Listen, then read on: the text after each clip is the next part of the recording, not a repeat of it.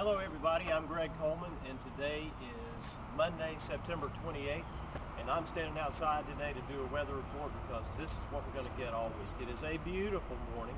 The sun's coming down. I'm sure I'm squinting. I can barely help it, but wanted to uh, show you the outside of our building a little bit today too and I'm standing in front of a pretty F-150 truck which we'll talk about in a minute. As far as weather goes, this week is going to be just pretty much what we see today. It's going to be a fairly warm day today, then it'll get cooler. It's going to feel like fall. When you get up in the morning, it's going to be coolish, maybe a jacket. It'll be great, terrific weather. Next chance of rain comes over the weekend. It should be passing showers. Hopefully just uh, that's it, pass and go on through and uh, be another pretty week next week. But got good weather. I know we've had good rain. I'm thankful for that. Some people had too much. I'm sorry about that. But should be a beautiful week. Lows in the, probably in the 50s and highs in the 70s. Perfect weather. Pretty F-150 I'm standing beside here.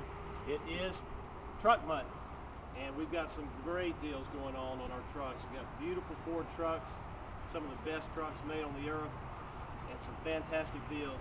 Rebates up to $4,500 this month. So be sure and come in and take a look at it or look online at georgecolemanford.com. Again, here's the outside of our building. Big, beautiful building lots of places, lots of vehicles to shop.